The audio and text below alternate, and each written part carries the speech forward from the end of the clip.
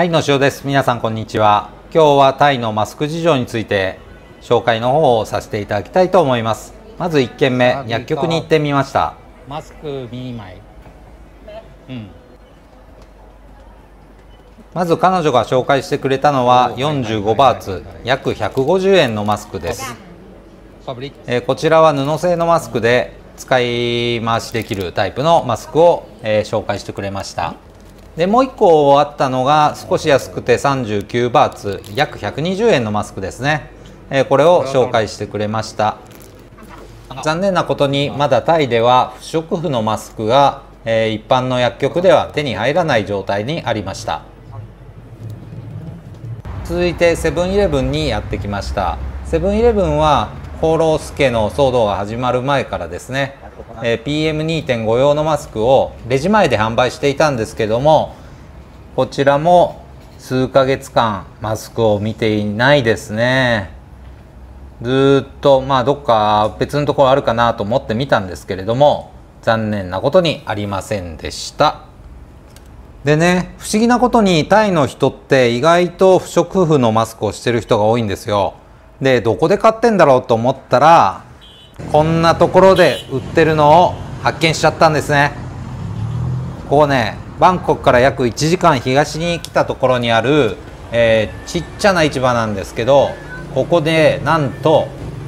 24時間稼働してるマスクの自動販売機があったんですよ。しかも不織布のマスクです。なぜかね、えーモバイルバッテリーとか、えー携帯のケーブルとか売ってるんですけどくとね元はこういったものを売ってたそうで、えー時期に合わせて、えーマスクを今販売してるそうです。1枚10バーツで、えー10枚組で100バーツの、えーマスクをここでは売ってました。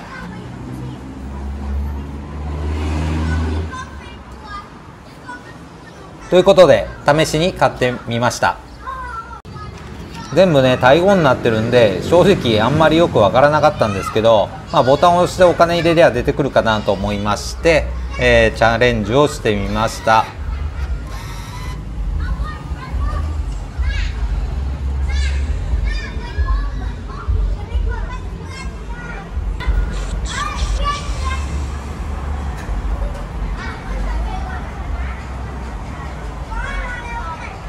よくねアメリカとかにあるベンディングマシンですけれども同じような構造の、えー自動販売機でした。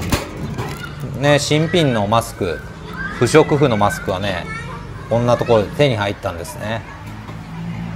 えーまあ動画撮影してたら後ろはもうね実は人がいっぱい並んでて、えーびっくりしちゃったんですけども夕方みんな、えーこの辺の人だと思うんですけども、えー仕事帰りとかね、え主婦の方がマスクを買いに来てました。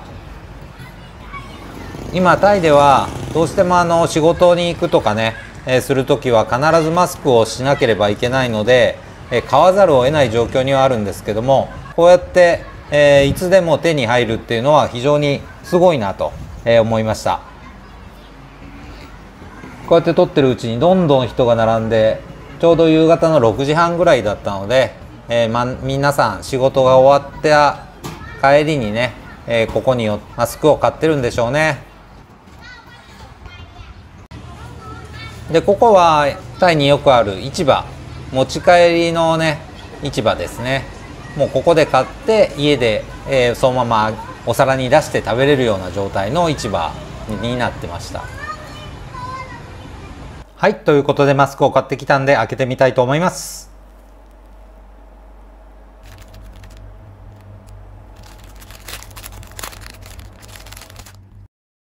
これ見た目は普通ですね。触った感じも普通です。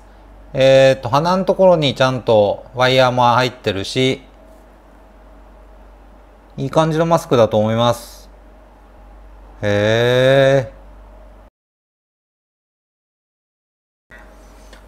マスクをちゃんと調べてみると3層の構造になってて、えー一般的に日本で売られている、えーマスクと変わらない状態でしたね。1枚33円ということで特に高くもないですし、えー使えるかなと思いました。こうやってタイの、えー皆さんがマスクが手に入る状態にあるってことはまあいいんじゃないかなと思いました。ということで今日の動画はこれで終了なんですけれどもどうしても場所を知りたいっていう方は、えー、Twitter の DM でメッセージの方ください。それではまた次の動画でお会いしましょう。バイバイ